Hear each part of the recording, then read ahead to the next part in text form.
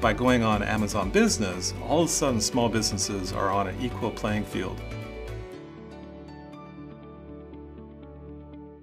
大家好，我是阿米，欢迎收看《看跨境叫阿米的阿米秀》，每天一分钟为你分析跨境电商最新消息。大家好，欢迎回到看跨境叫阿米的阿米秀。我们继续在每周二、周四中午的一点十五到一点四十五分，继续为你跨境麻辣烫阿米天天看。那今天呢，我们请来一个可能有相当多朋友，呃，对他既熟悉又陌生。这个是在华南城有六年了啊，六年，深圳华南城六年时间，华南城应该七年，七年，在深圳华南城七年，就是二零一三年在跨境出口电商曾经是，呃，我们叫掀起过不少风浪的汇成的电商的创始人 Peter，Peter，我们上次见是快两年了，两年，是在一八年我们的老办公室，一八年老办公室那天晚酒喝的有点多。他那天喝了不少酒来我哦，你是先到我办公室再喝的酒，再喝的酒，你还说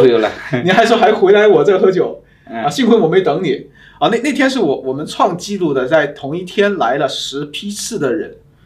你还记得我的小办公室吗？就是我们现在这个直播间可能不到一半，啊，来了十批次的人，那天我那疯掉了，我泡茶都泡了不少。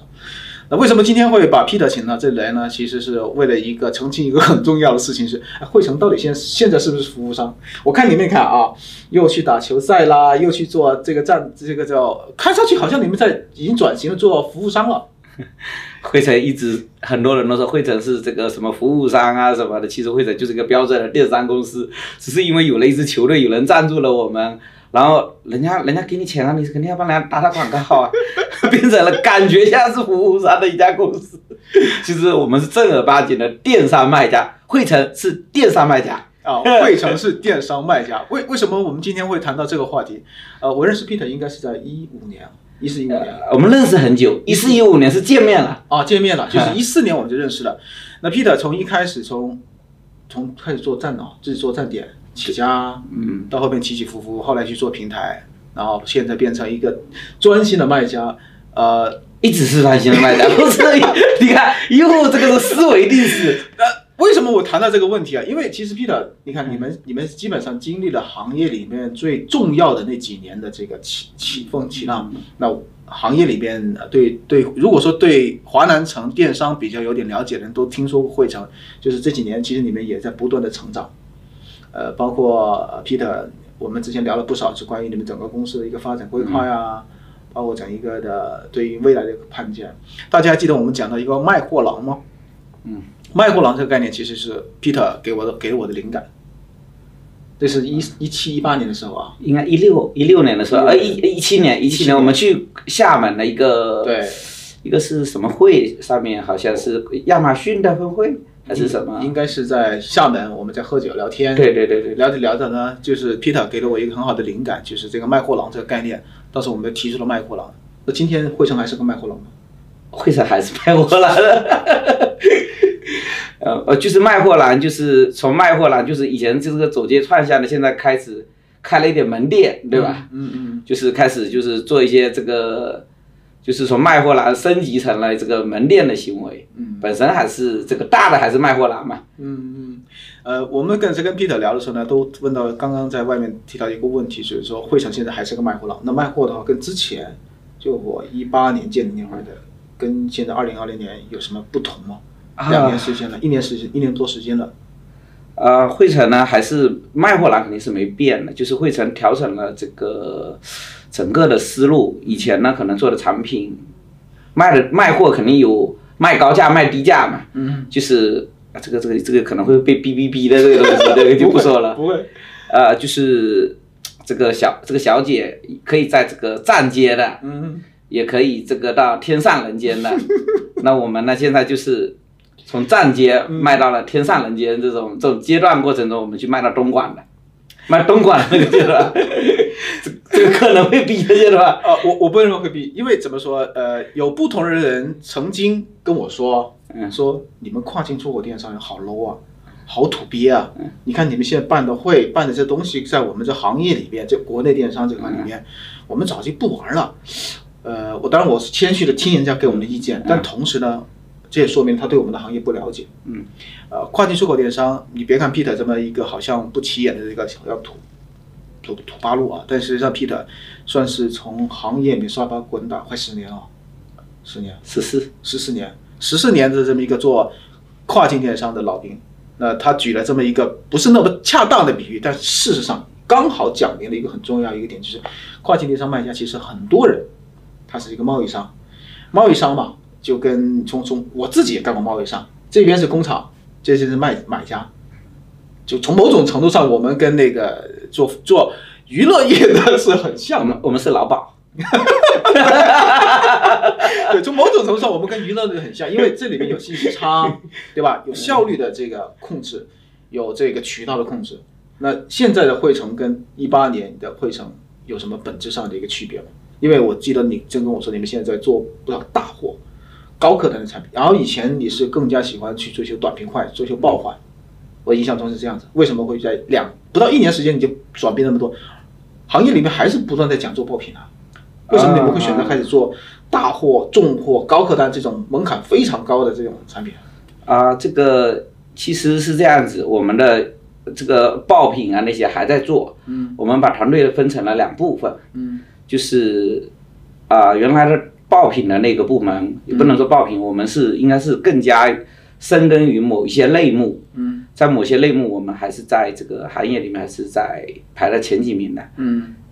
啊、那个业务还在做。然后呢，这个我那为什么说我们转型？我们转型是指的是啊、比如说这个低客单价或者客单价相对低一点的，嗯整体的竞争浓度比较大。如果我们在不，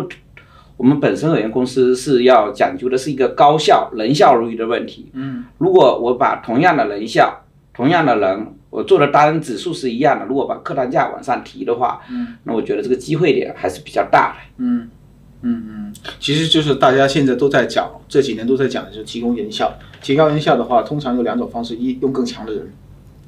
二用更强的系统，三啊第三种方式数据不好，用更强的供应链。那你们现在做这种高客单的、非标的、家具的，在供应链这块，你们现在是怎么样的方式？我刚刚澄清一点了，啊，汇成不是服务商，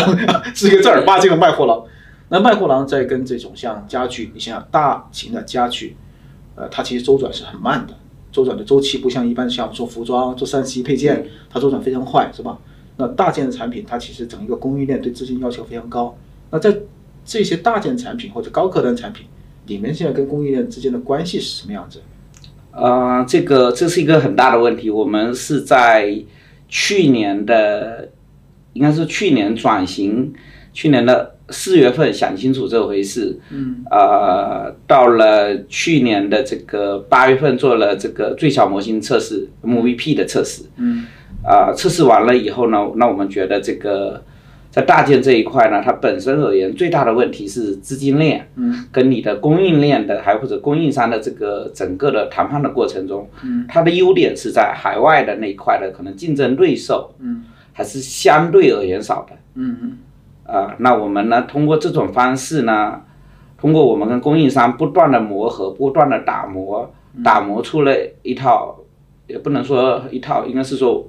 跟我们公司跟啊、至少现在符合我们公司的资金链，嗯，还有公司发展需要的一一一个跟供应商的沟通的一种方式。嗯所以呢，我们现在呢来自阿米这边，刚好他问我，他问我来这里干嘛呢？我说啊，我来这里啊，本来是想喝杯茶，他突然间问了我这句话，我说哦，原来见了网红肯定是说我干嘛呢？我说哦，我我我我来这个这个顺便问看看有没有什么一些优秀的供应商啊，毕竟这个网红嘛，网红都是各大的这个资源的聚集体。那那我呃，然后呢，我就就被他忽悠了，那那来吧，来我们的阿米秀来聊一聊。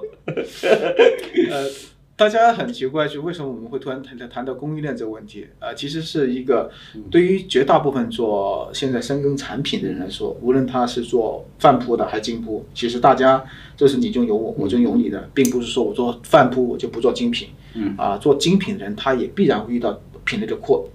扩张，是吧？嗯，那都有个问题。你刚刚提到说，哎，找到一个方法跟供应链或者跟资金链之间合作，能能介绍一下吗？因为其实就像 Peter 说的，我们的确的确有呃有不少的一些脉络，可能能够给到像 Peter 这样的一些精品的或者说专心就卖货的朋友。但是我得我们也要需要让大家知道，哎，原来我们现在行业里面已经开始这样的一些想法。啊，可以介绍一下。嗯，我们其实是这样子，我们想，我们就是因为呢，这个这个公司资金本身而言，在一七年底、一八年初的时候，公司在有些类目上让公司呃那个比较难受，嗯，然后整个资金呢就可能出了一点点小问题，然后呢，后面呢我们也在经过了思考过了以后呢，我们尝试性的跟我们的供应商，嗯，来谈一谈，是不是我可以用。